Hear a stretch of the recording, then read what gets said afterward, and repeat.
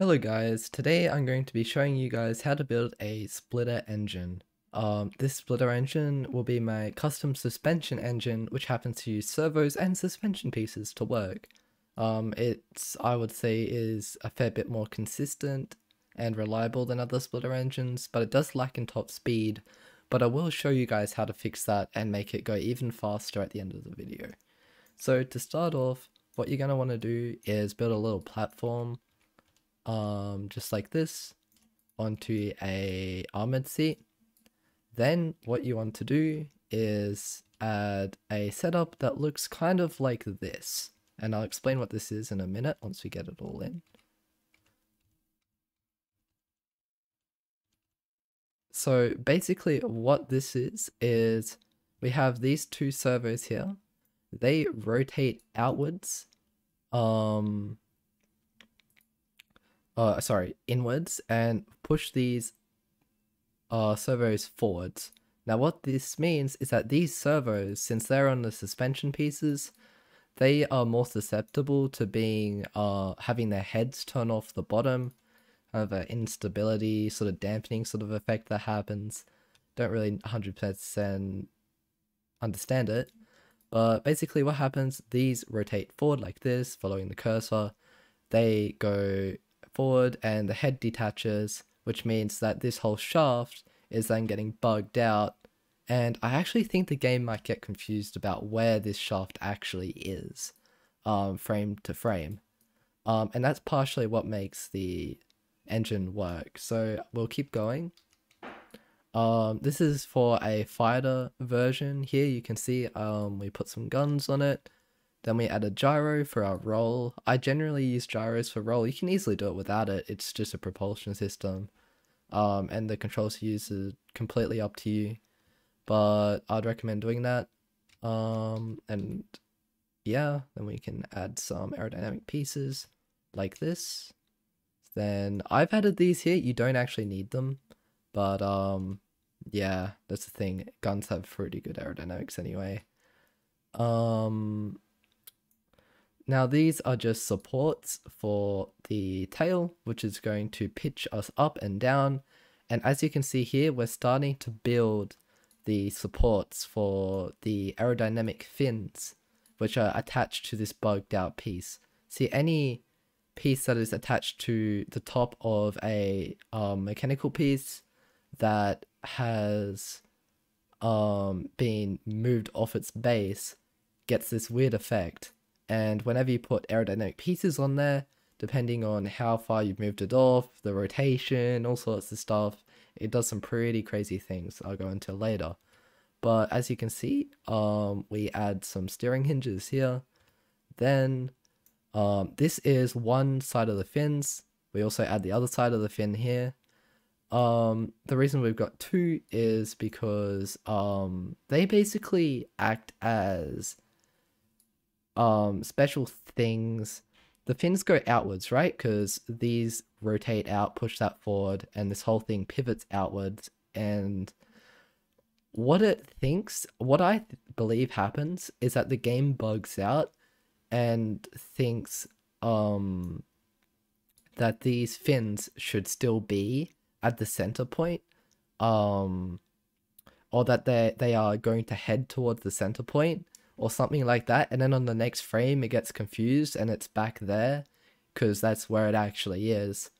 Um, so it's like it's constantly moving inwards when they get pushed out, creating like a V like this, like these fins create like a V. And then they constantly think they're moving inwards, which constantly means that the creation just gets pushed forward at immense speeds. Um, so the outsides of these, um, I believe actually do nothing they don't actually push you forward. In fact, they actually slow you down. That's how we're going to make this consistently um, faster. But, um, yeah, this is the creation done. So if I hop out of build mode here, I'll show you what I mean.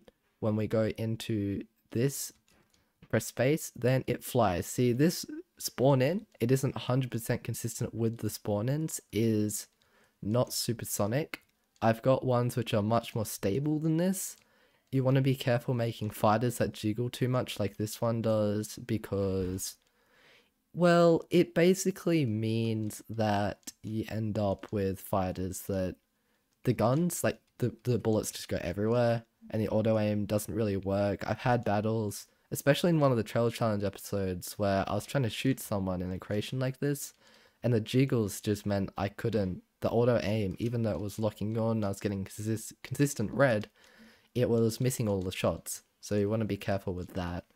Um, the computer zone is so good, and you want to make it as easy as you can for the your own auto aim to work. So yeah, that's basically how it works. Now, you can make this faster by doing a few things. Um, one, we could probably get rid of this, reduce enough weight that it does actually just go faster. Because aerodynamics and all sorts of crazy stuff. But the other thing is, is that you can actually zero drag the outside of these and or zero drag the creation in general and you're going to be able to get much faster speeds I usually hold off from doing this, but say I get like a large porthole, put it here, and uh, yeah, that should be good. I'll do that again. Um, it's a pretty janky zero drag, but it'll work. We copy this over to the other side, and that should be on E.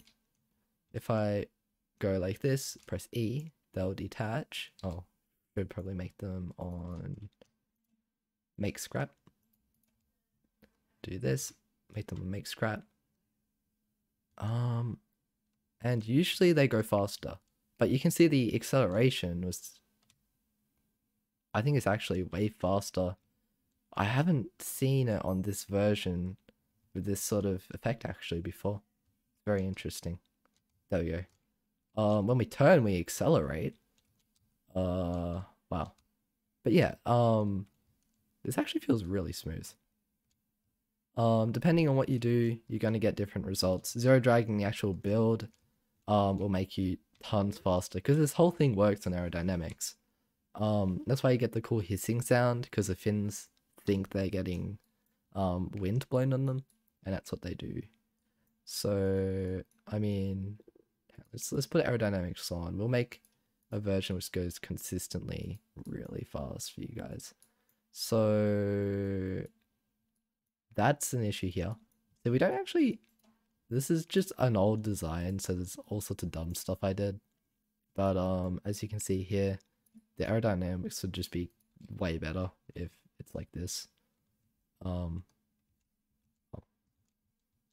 Yeah, there we go. We had two red points on those things. So yeah, you're easily going to go supersonic in this thing. Um, yeah, and hopefully that was a good tutorial. I'll see you guys um another time with some more tech or whatever. Um, I'm trying to get the trail challenge videos out and other stuff, but I've had to again do some other stuff involving real life stuff. So sorry about that. But um, this has been fun, and I'll see you guys in the next one. If you liked how I did the building um this time, then let me know because I actually found that a lot easier um, and I will probably do that again. Um, yeah. But anyway, see you guys in the next video.